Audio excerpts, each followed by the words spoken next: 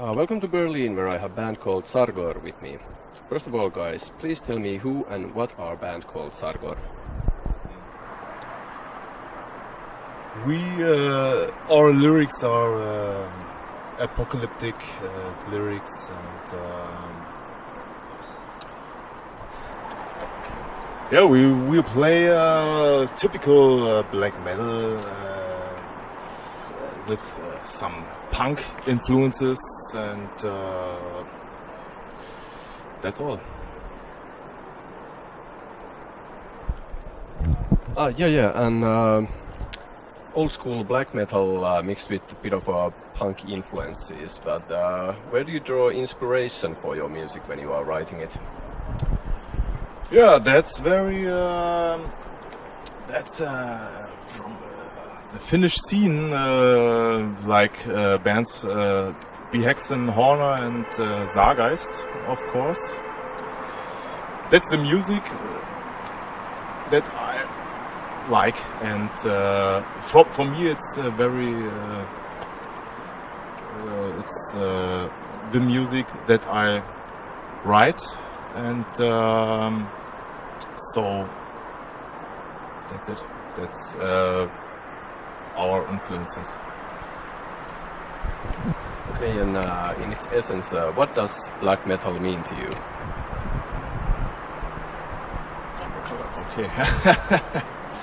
yeah, Almost everything. that's, that's everything.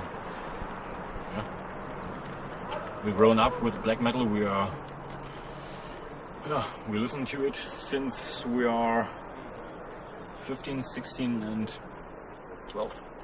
12. Um, yeah, that's that's our life. We are. we try to, to live the, the cult and we try to to get up with the scene because in Berlin black metal gets less and less. Uh, we try to, to push it a little bit um, upwards with a with a new theme, the post-apocalyptic theme, and we hope to to reach uh, more people to get it back in Berlin. Yeah, and yeah, black metal is everything. Black metal is black metal is Krieg. That band was formed back in 2008, and like you also said, that Berlin is not that big of a black metal city. So how has the band's journey been for you?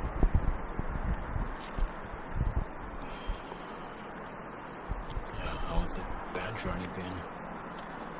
It's yeah, 2008. It was more more effective. The community was bigger, and um, the magazines was fuller of yeah of, of this of this kind of music.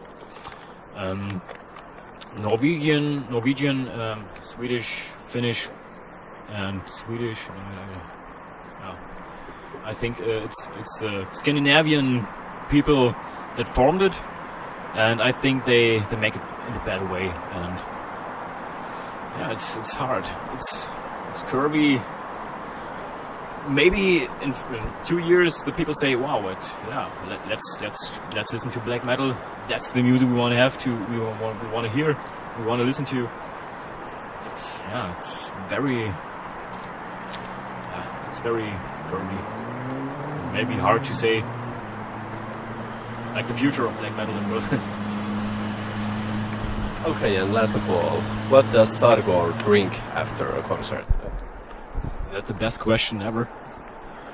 If the gig was excellent, we drink vodka to to salute each other.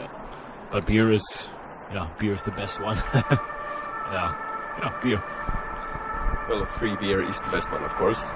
but uh, thank you very much, guys, and pray collect tonight at Blackland. Okay, thank you.